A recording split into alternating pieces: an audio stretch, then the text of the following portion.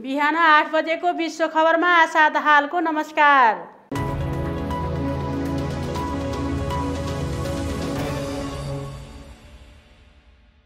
अब प्रस्तुत गर्दैछौँ विश्वभरका मुख्य मुख्य खबरहरू।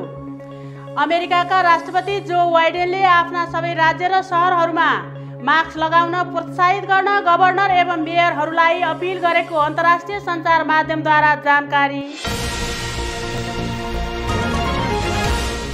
इजिप्टको सुइज नहरमा विगत छ दिनदेखि अड्किएको विशाल पानीजहाज हटाइएपछि उक्त नहरको अवरोध खुलेको अन्तर्राष्ट्रिय सञ्चार माध्यमद्वारा जानकारी।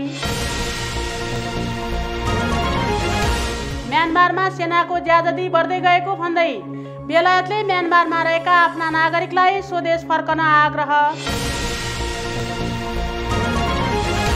चीन र विश्व स्वास्थ्य सङ्गठन डब्लुएचओको संयुक्त टोलीले गरेको अध्ययनले कोरोना भाइरस चमेरोबाट अर्को जनावर मार्फत मानिसमा सरेको एक प्रारम्भिक प्रतिवेदन सार्वजनिक।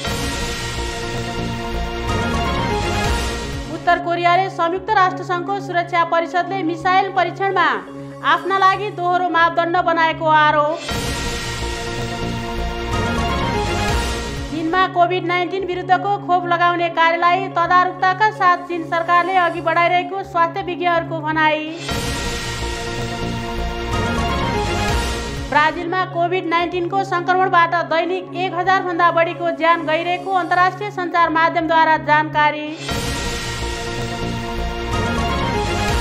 पछिल्लो समयमा कोभिड नाइन्टिनका सङ्क्रमितहरू बढिरहेकाले पाकिस्तानमा सार्वजनिक रूपमा भेला हुन र सभा समारोहहरू गर्नमा पाकिस्तान सरकारद्वारा प्रतिबन्ध।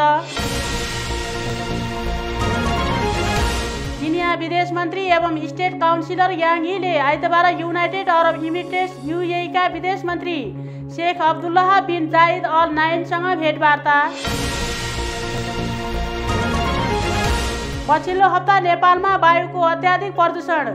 सो प्रदूषणका कारण पाँच दिनदेखि देशभरको आन्तरिक हवाई उडान प्रभावित। अमेरिकामा हेलिकप्टर दुर्घटना हुँदा चेक गणतन्त्रका सबैभन्दा धनी व्यक्तिसहित पाँचजनाको मृत्यु। भारतका प्रधानमन्त्री नरेन्द्र मोदीको बङ्गलादेश भ्रमणको क्रममा विरोधमा प्रदर्शन हुँदा मारिने सर्वसाधारणको सङ्ख्या हालसम्म तेह्र पुग्यो। र बुधबार बिहानसम्म प्राप्त जानकारी अनुसार विश्वमा कोरोना भाइरसबाट सङ्क्रमित हुनेको सङ्ख्या बाह्र करोड बयासी लाख उन्चालिस हजार नाग्यो भने अठाइस लाख चार हजारभन्दा बढीको मृत्यु।